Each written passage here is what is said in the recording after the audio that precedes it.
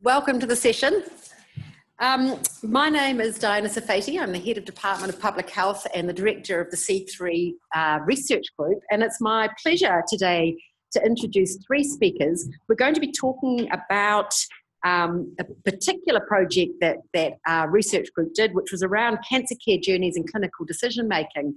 But they're looking at that project specifically as an exemplar of Maori centred research. I'm going to be talking about the, the issues um, in relation to that.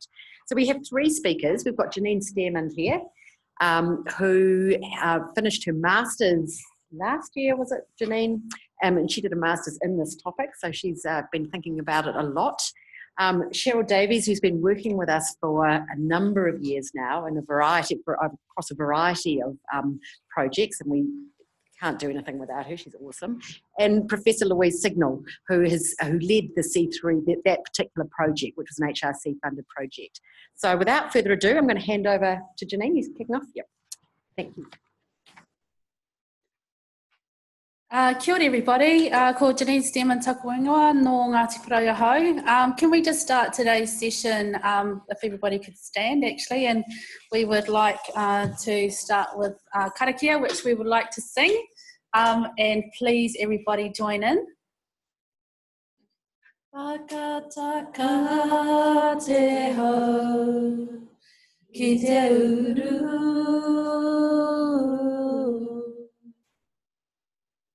Whakataka te hau i te tonga.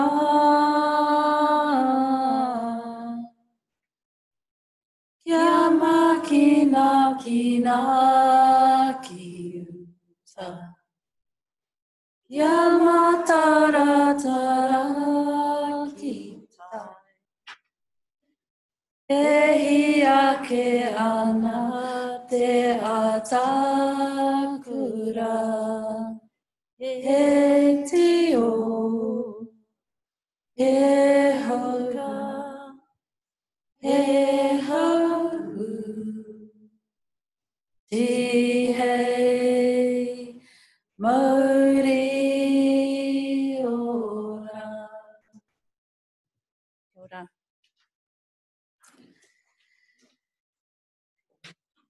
Cease the winds from the west, cease the winds from the south. Let the breeze blow over the land, let the breeze blow over the ocean. Let the red tipped dawn come with a sharpened ear, a touch of a frost, a promise of a glorious day. To the whare, tēnā koe, to Di, our chair, and to the organisers of the seminar today, kia ora. To our fellow team members, clinicians, kaimahi and patients, whānau that we worked with, tēnā koutou. To those who have recently departed, haere, haere, haere atu rā. Welcome to everybody who's joined us today. Nau mai, haere mai. I'll just give you a brief outline of how we're going to run this session. Um, but before I do, I'd just like to recognise um, the author and um, uh, co-PI of our, our research project, uh, who's here today. The, he's the author of the paper that's been handed around, Chris Cunningham.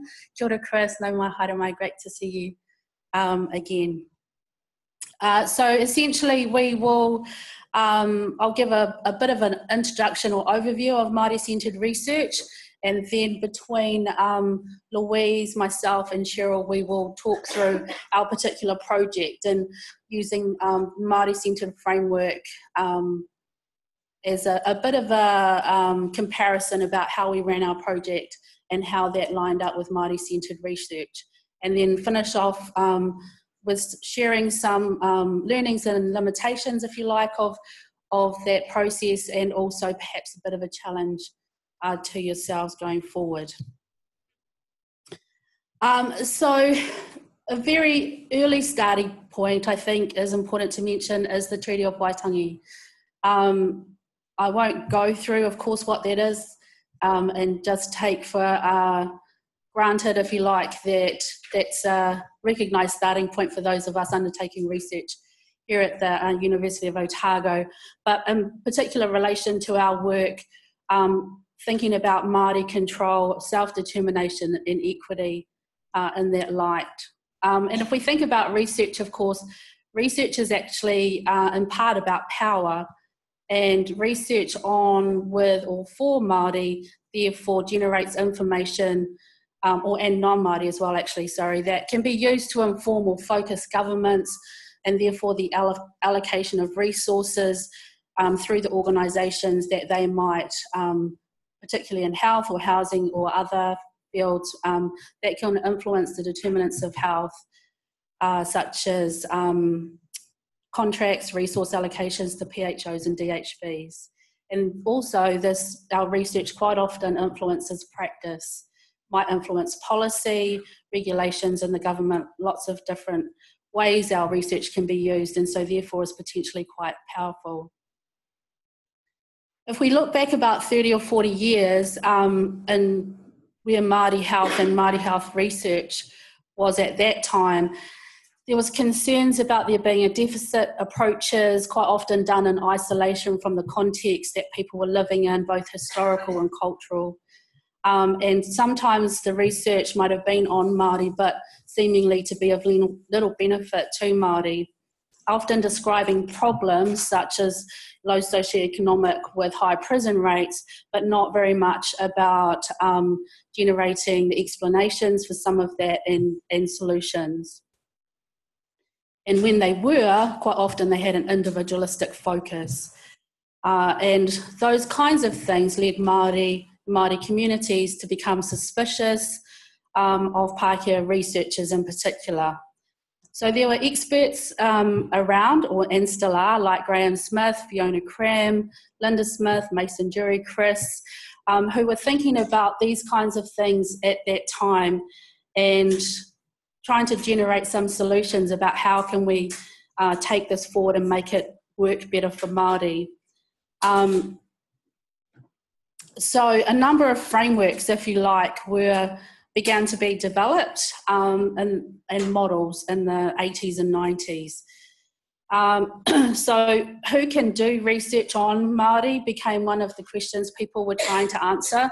So, Graham Smith um, had some ideas and suggested some models like a, the Tiaki model, um, which meant that Māori research could be guided and mediated by Māori experts, but it could be involving non-Māori. Um, the whāngai model, where um, the researcher becomes one of the whānau, if you like, and I think Dame Anne Salmond is probably uh, someone people might recognise as uh, perhaps fits into that category, and uh, problem sharing models as well. Uh, sorry, power sharing models, not problem sharing models, um, as ways of looking at empowering Māori in the research uh, process. Um, if I focus in now specifically on the Māori centred research model, um, Mason Durie also had uh, quite an influence, I think, and, and Chris worked with Mason um, and still does, no doubt. um, and Mason's view was that Māori experiences, values, and aspirations should be central. Um, that we don't ask, um, well, we don't say, how can I adopt this approach to Māori? We start by first of all asking what is important to Māori and then build out from around that and that it, therefore it becomes Māori centred or Māori centric.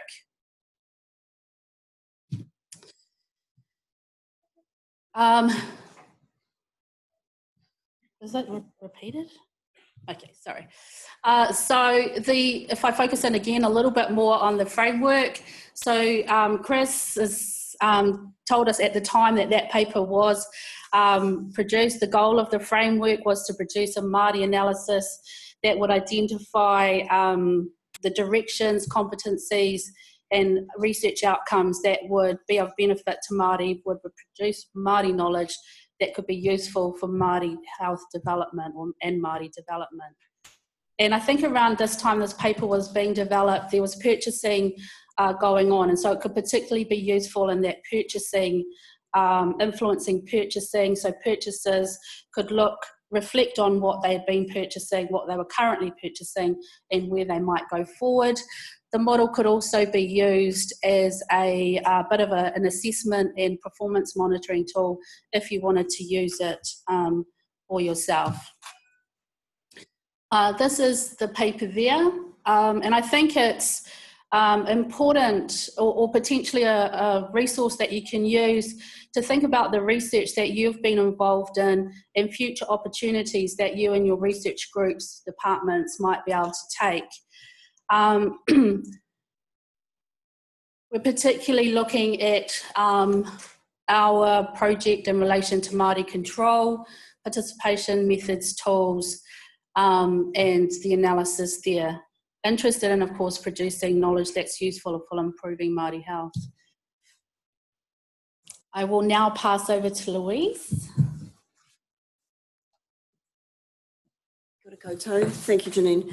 Um, so uh, I was lucky enough to be uh, working here in the department with uh, uh the C3 uh, team, and uh, Diana has some history really with the with the project that I was not involved with, and so the way, way it, as I understand it, it came about was that there was work that Diana had been doing, which had clearly highlighted the inequalities for Māori in terms of cancer uh, outcomes, and uh, you were involved, I think, with an international collaboration and trying to do sort of multi-country uh, examination of inequalities in uh, cancer treatment for, for Indigenous peoples.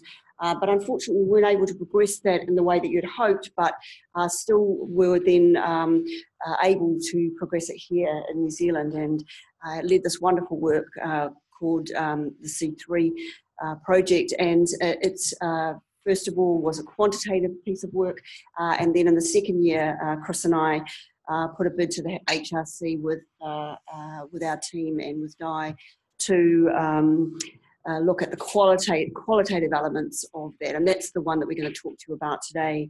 So it really was a it was a partnership uh, at that top level with Chris and me leading it, uh, and we're going to talk in some detail around uh, what that looks like, uh, focusing on cancer and comorbidity because we know comorbidity is one of the major problems for us in this equity gap.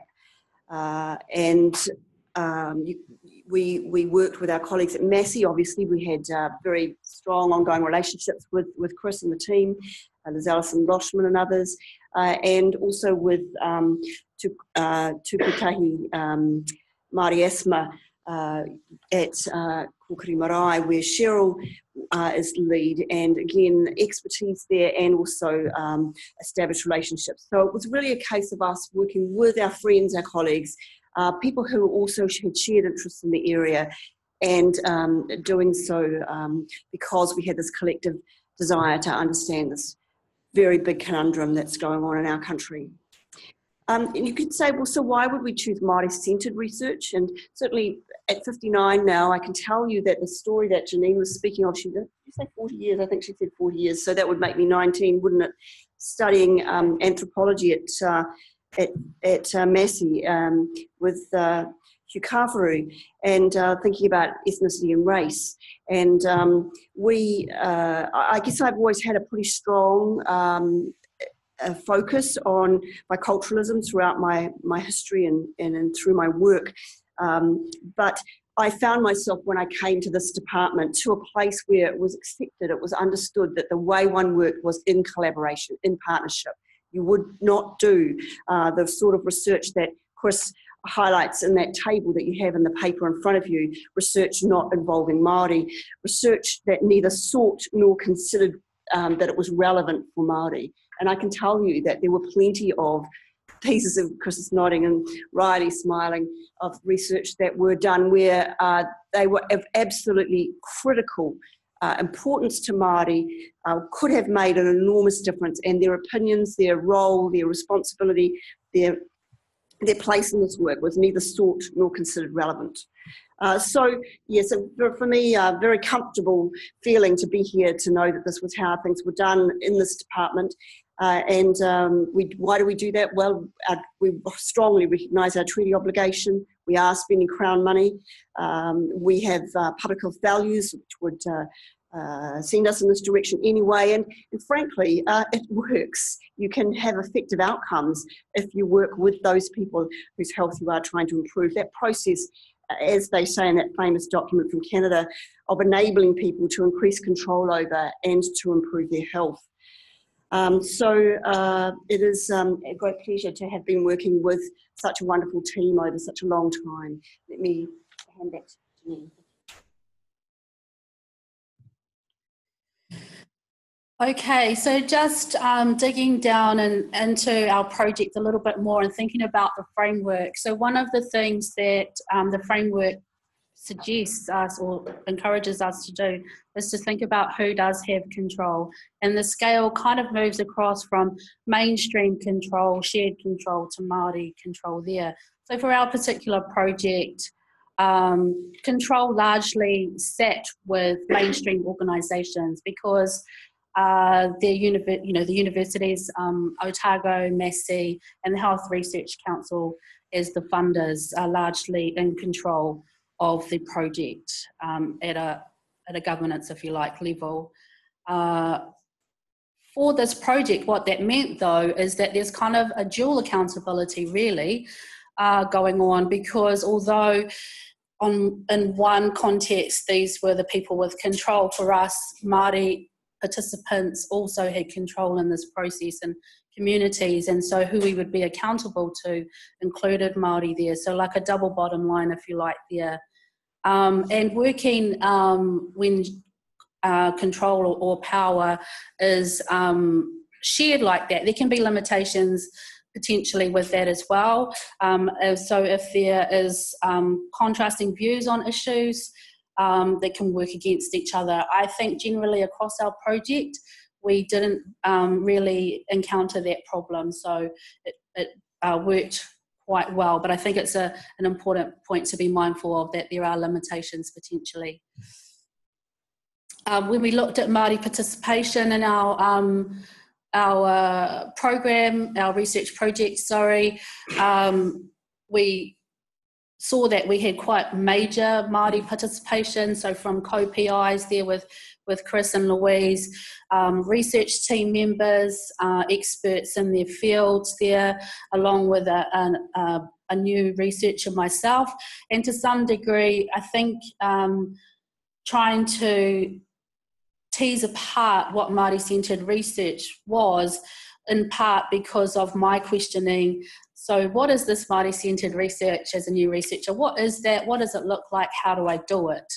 Um, because it's my job to, you know, in part to to go out, collect data, but participate in the analysis there. So, um, I needed to understand these things uh, going on here. We also had a community Māori oversight group, which I think about six of the member of the eight members were Māori. So again, significant uh, Māori participation there.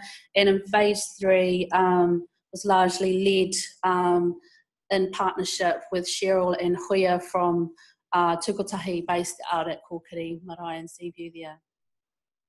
So needing that community um, knowledge, expertise, and connections to make sure that we could be as successful as possible uh, with that. Um, just continuing on, Māori participation. So we wanted to make sure that in all the MDTs that we recorded, we took particular account of the Māori participants in there. Um, and the recruitment of those and the MDTs, Jonathan Koea up in um, Auckland, uh, and myself down here uh, largely undertook the data collection and all Māori on the research team were involved in the analysis. Uh, in phase two, where we um, looked at people's consultations, um, I was largely uh, the person in collaboration with Virginia Signal, um, who worked in our team in that phase um, to collect the data there. All, all Māori interviews were undertaken involving at least one Māori researcher. We targeted with this project, um, we were targeting 30 participants, so we wanted to have 15 Māori and 15 non-Māori in our project. Unfortunately, actually, when it came to it, uh, we actually only recruited five. Uh, and I think that was largely a reflection of the scoping, if you like, and the participation of clinicians, because of course you can only recruit participants through the in this particular study. We could only do that with patients that were under particular clinicians who signed up to be part of our study.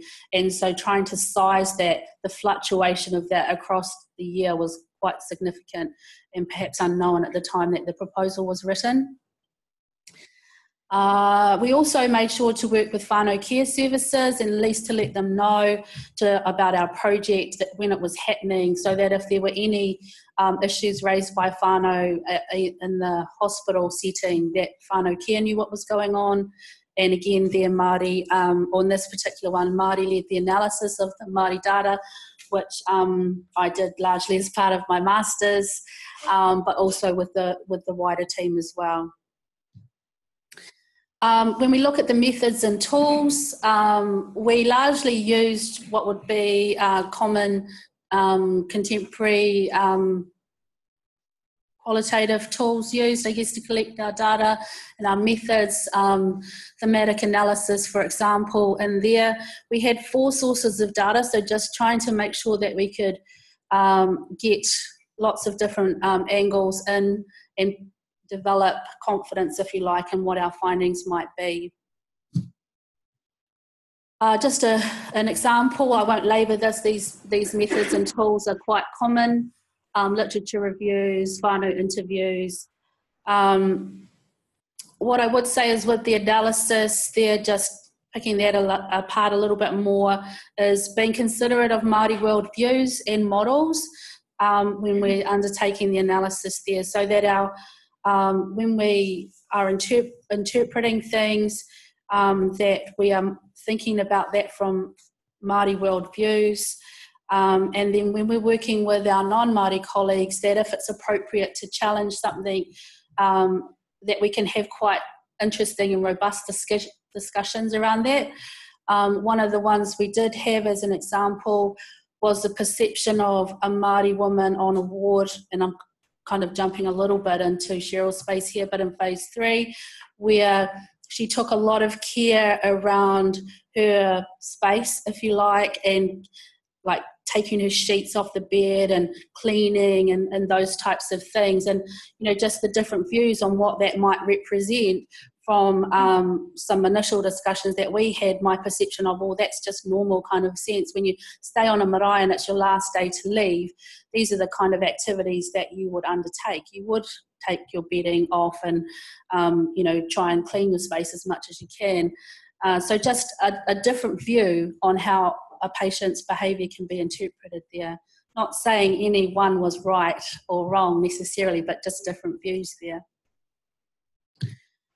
Uh, and I will hand over now to Cheryl to talk a little bit more about phase three. Uh, kia.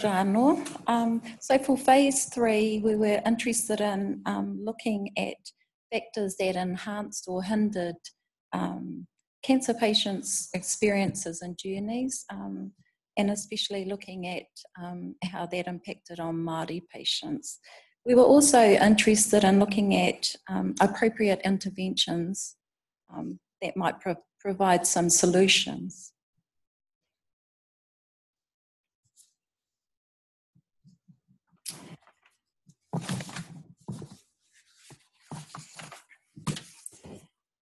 Often there is an assumption when undertaking research involving Māori um, that recruitment will be difficult. Our, reach, our research team have a long standing partnership um, we each bring our own expertise areas to contribute to the study. Working in partnership with organisations like Tu Kotahi and Kokiri Marae, who have built the trust and confidence of our communities um, over many years, ensures that recruitment of not only Māori, but um, often non Māori um, participants is not an arduous task. Because we were able to take a Māori centred approach, this enabled my Māori colleague and I to undertake the research interviews in a way that was appropriate for Māori. We included karakia or prayer before and after the interview. If requested, um, the use of te reo, the Māori language, the taking of kai or food, and the concept of whanaungatanga, which is an all encompassing sense of belonging or fitting in, to create a safe environment for everyone. And not surprisingly, this approach was also well received by non Māori. Um, we, had, we decided to have two interviewers because of the um, because of the area that we were interviewing in. It was important for us to maintain that um, contact with the person we were interviewing, um, and so we had someone else who would look after the recording, take notes, and um, one of us would be just focused on um, on on listening, listening and um, and caring about what was being said because what was being shared with us was a taonga was often was often information that they hadn't even shared with their own whānau. Um, so it was a huge privilege for us. So we had semi-structured interviews um, with 34 participants, 19 Māori and 15 non-Māori, 18 males and 16 females. Um, as a Māori provider, enabling a Māori-centred research approach uh, provided us with a great opportunity to build our research capacity and credibility as individuals and also as an emerging Māori research organisation. Initially, we were involved in the recruitment, interviewing, um, interpreting data, and the reporting and sharing of the findings. The strength of our long standing relationship is now reflected in my feeling included as part of the C3 research team, my involvement in the research retreat where I can provide input into the research design, and my inclusion as an author on a number of papers. Kia ora.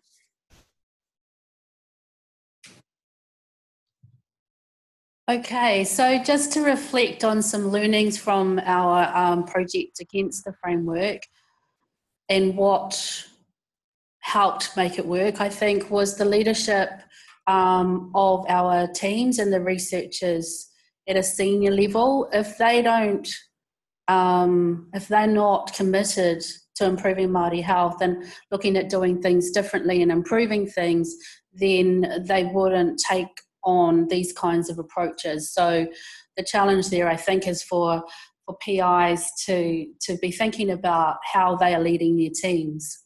The capacity, of course, within teams, uh, Māori capacity in particular, I'm thinking of here. So how can within the research that we do uh, build Māori research capacity both in-house and in the community setting? um, to make sure that when we're uh, undertaking our research and these approaches that we are mindful of different worldviews uh, in the research uh, that we are undertaking the, the value of the connections and relationships that we've been developing um, both as individuals as research groups as institutions with other researchers and, in their organisations uh, and how we might continue to build and strengthen those and work together our own tikanga and kawa guidelines into how we practice and undertake our research is important. Um, and they're just that continually wanting to improve. So our, our commitment to quality um, as individuals as well as groups and organisations there. Um, within the actual nuts and bolts, if you like, of the research process, uh, being inclusive of patients and whānau, in our thinking and in our analysis as much as we can there that we are flexible when it comes to undertaking interviews. Um, you know like sometimes it can be we've organized something to go on and then something else has come up and i'm just about to interview someone after their consultation but their sister who's giving them a ride home wants to go now and so I can't do my interview with them. So what am I going to do about that? Is it going to be a major problem? No, it's not actually. So just you're actually coming in on Friday to, to have some scans done. So is it okay if I if I catch you then? Uh, so how we treat people, how we respond, how we can be um, flexible in our approaches there. Of course, privacy and confidentiality goes across the board. Um, and I think that applies for everyone. And it can be um, an interesting one when we're involving whānau, because if we look at kind of mainstream approaches to, to ethics and confidentiality and involving whānau there, so the way we were able to, the way we underdid, undertook that within our research was to, when we initially approached patients, will you have a whānau member present with you? Are you okay being with them being involved in your interview? So just checking that right up front there. Um, in the process. Time and space. So just taking that time, having that time and that space to do what needs to be done in the time that works for the participants that you are working with, whether it's organisations, whether it's the actual patients and whānau themselves. Sometimes we might feel constrained by timelines and reports and things we, you know, the funding runs out in December and so we need to have it done by then. Um, and so the sense of pressure and, and being mindful not to um, pass that on. Um, simple things like kai and koha, when someone's just had a significant hour and a half long um, interview or consultation, sorry, with their medical oncologist, they might need a little bit of a break before you uh, undertake your research with them. Simple things like parking. Everybody in this building probably appreciates how difficult parking is at the moment. Imagine if you're a patient coming in here in whānau, maybe you have some physical limitations as well, so even just getting around in itself. Um, and also offering, of course, to share our research findings with the participants in our study. Uh, another important learning for us. Uh, limitations and opportunities. So the dual accountabilities is a is both a limitation and an opportunity potentially there. The size. So I mentioned earlier that um, when we were looking at MDTs, if we were going to do that again, we might do things differently to try and get a, a bigger uh, number of Māori participants from the MDTs that we, multidisciplinary team meetings that we uh, looked at. Um, Māori knowledge, so the opportunity to generate that and making sure that uh, in terms of limitations that we have the capacity to put in place the processes to enable us to do that there that opportunity to always make sure that we are um, improving and sharing the knowledge that we have so it can actually be of benefit uh, to others there. Uh, at the bottom is our link to our uh, team's website where there are a number of publications uh, with the findings of our research, which of course you are most welcome to go in and access. Um, and I just want to perhaps um, repeat a challenge or whittle to you to, uh, you might actually on reflection look back at some of the work that you've done and thought actually that was quite Māori centred, that research we did. But it's not necessarily presented that way in publications. So to be perhaps reflective and thinking about that and to publish your work, of course, going forward if you are using a Māori centred research approach to identify it as such. Uh, and also to if you're planning future research if you can think about unpacking what that might look like for you and your team your department and how you can reflect that in the work that you do uh, that would be the challenge we leave you with today kia ora.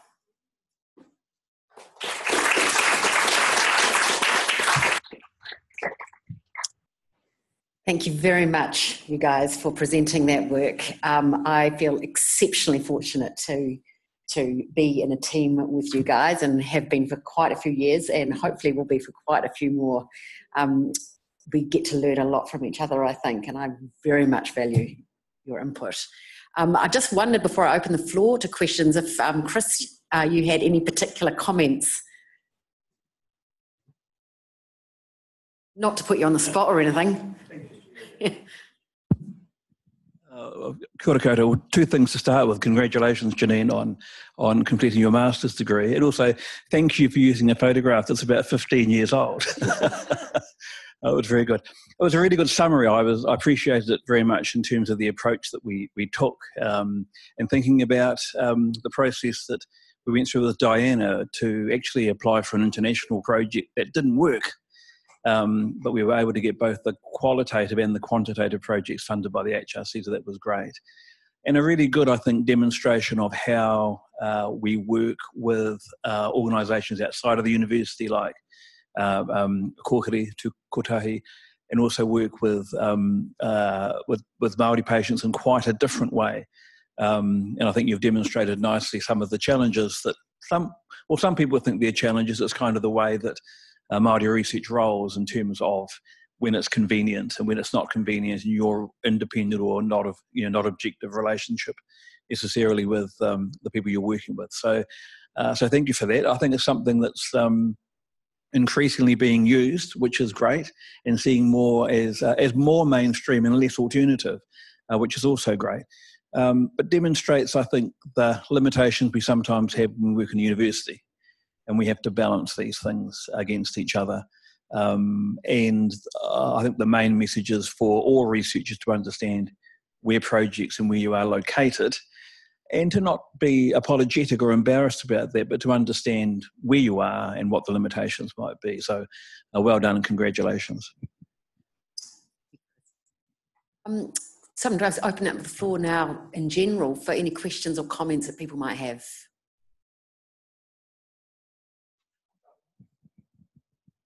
Hi, I'm Mel, Mel Joyce. I'm one of the ops managers here. I manage children's health, and I'm sitting with my counterpart Sarah, who manages um, oncology and haematology and the adult services. And I guess the question for me is I want to know what you found out. And you know what uh, you know so then we can actually look at what we're doing in our environments to make a difference for our Māori consumers. So I'm just kind of interested in when you're going to do a presentation on that really. So that was it really. And, and have you got any comments around that particularly? Tricky. um, from a past life at Whitireia Polytech, I'm a nurse by trade that's how we know each other from more well probably about that time 30 odd years ago. Yes yes. Thank you. yeah yeah last century. Um, so the findings of our research. So the link is um, to our page but also um, on that page there's some presentations that have been done about the findings of the research. So louise has done a, a presentation that's been videoed um, and is available online, and I think Di has as well. So certainly go and check out the page the page there, but would also be happy to have perhaps a talk over a coffee or something of the like to yeah talk about it perhaps in a bit more depth. Yeah. Yep, sounds good. Kia ora. Any other questions? Comments? People want lunch. Hi is good. Kira, that was lovely. Thank you. Would you talk some more about the dual accountability? Uh, I say dual, um, really just to identify that there's those different bottom lines, I think, there. And so for me as a Māori researcher, as an example, like my accountability will be to my Māori colleagues working out in the community. So how our organisation, if you like, I take the rap, good or bad, for how our organisation might work with out in the community there. So those different accountabilities there, as well as you know within the university setting and all the drivers that determine our how we do our research, how it's funded, um, you know the reporting kind of things. Um, in some ways when we work in institutions like this i think we do the best that we can to work with those um, limitations. And then i guess over time as you become more experienced as a researcher and um, funding applicant you learn how to try and work the system better um, and so the, the power of the team when it comes to dual accountability, whether it's from the accountabilities to patients and whānau out in the community, with our colleagues who are out in the community or, or in-house, they're all just, I think, things we need to be mindful of and always trying to remember that there's a number of them that we have to address. I don't know if that particularly answers your question, but just that it is a bit like a juggle, if you like, that's always going continuously going on in, in the life of a researcher, I think, and particularly a Māori researcher. Kia ora, Kia ora Bridget Robson, a colleague of Jeannine's and Cheryl's. um, Cheryl, I'm, I'm quite keen to hear from you as a researcher based within a, um, a really busy and amazing Māori health provider that's providing great services for our, for our communities and also developing your own research um, centre. What, what criteria do you use or to decide what research to get involved with and what might help uh, your mahi or your, your or the health of your community? Have you got any um, instructions for us, I suppose. Um, I think a big factor in um, the decisions we make and the types of research we take part in is definitely around the relationships we have. Um, it takes quite a few years to build a trusting relationship, so we have some pretty amazing relationships here in the university with um, a number of the researchers. And the other thing is too, we know our communities. So actually, we know we know what will make a difference and what will have a positive impact, um, you know, for the communities that we work amongst. Um, probably another big, um, another area that I, I always think about is um, how will we feed this information back to our communities? Because often in the past that hasn't happened. Um, and that's been um, a huge area for our communities. That's what's been fed back to us over the years, is that um, we don't hear back uh, around what the results have been. So, we you know, I, I am really, um, I'm really clear that if we, um, if we are going out and um, taking information from our communities, then we also need to come back and give back some um, feedback or report back to our communities on what has been the outcome. So they're probably some of the main um, factors that I look for. And I always think of Moana Jackson. I actually, when I first started working in research, I went and spoke to Moana. And so he talked about reciprocity. And that's um, probably been a huge driving factor for me is looking at, like what Jeannine said, that reciprocal um, relationship between the researchers, the organisations, and the community. I hope that answers your question. Kia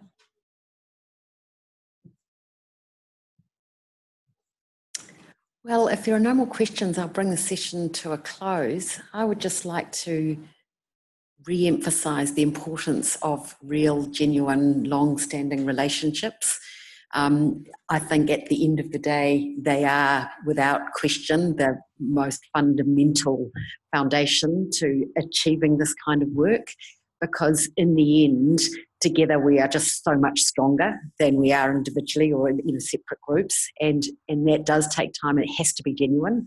Um, so I think that, that that came through really clearly in the, the presentation, but I, would like to just re-emphasise that, and also to thank the presenters today for their presentation, but also for their years of very hard work and all the hard work that is to come. Um, thank you very much.